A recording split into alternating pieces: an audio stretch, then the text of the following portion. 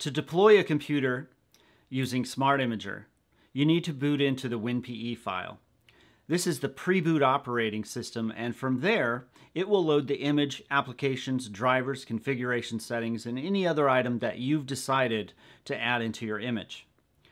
To load the WinPE or pre-boot operating system, you can do this two ways. You can either enable PXE in your environment, which allows you to boot any client PC using the network interface card, and it will reach out over the network to the Smart Imager server and download all the files it's needed, or you can use a USB stick.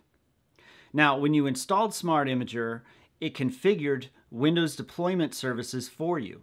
So, in order to enable PXE in your environment, all you need to do is add the Smart Imager server's IP address to your DHCP scope, and you can start imaging over the network. Now, if you don't know how to enable PXE on your network, you may need to use a search engine and look up your DHCP server and how to enable PXE.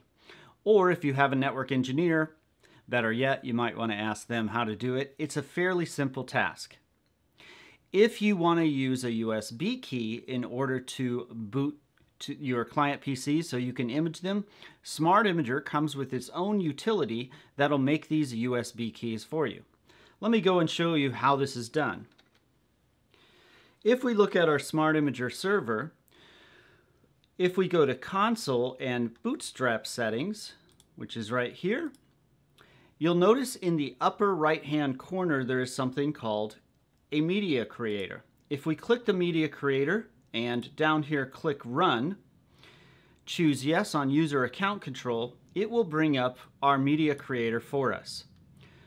Our media creator allows us to create a USB key from any Smart Imager server in our environment. So I'll go ahead and type in the IP address of my Smart Imager server. And click go. And it immediately will bring me back all of the sources or deployment paths that are in that server. So I can actually grab the files from any one of my deployment paths, I don't have to necessarily grab it from the server itself. Also, it'll show me where my USB key is, and there's a drop down here that'll list all your removable media. Make sure that you choose your USB key that you want to add WinPE to. Keep in mind that you do have the option to format this drive as well in which it will erase all the data. So make sure that you use a clean USB key or something that you don't mind erasing the data on. Additionally, it'll allow you to choose different deployments and those deployments are directly related to your deployments on your deployment menu. Now from here, I can choose to only include the WinPE, which is the, just that pre-boot operating system and it'll only include that file and then it'll load the WinPE, it'll go out to the Smart Imager server or the deployment and grab the, the uh, files it needs in order to image the PC.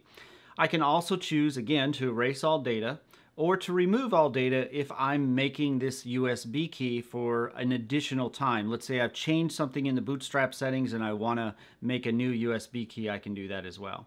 If I uncheck only include WinPE. I can choose any of the deployments I want.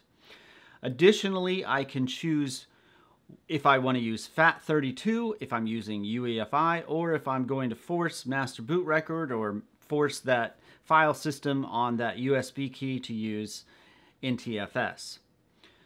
Lastly, I can choose whether or not I want to use the x86 or 32-bit architecture or force a 64-bit architecture version of WinPE onto that key.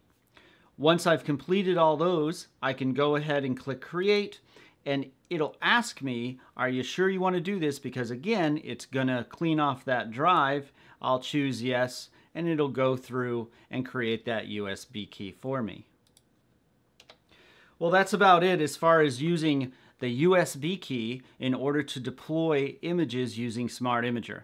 If you have any questions at all, please contact us at support at smartimager.com. Or if you just want to write us and have a simple question, you can always contact us at contact us at smartimager.com.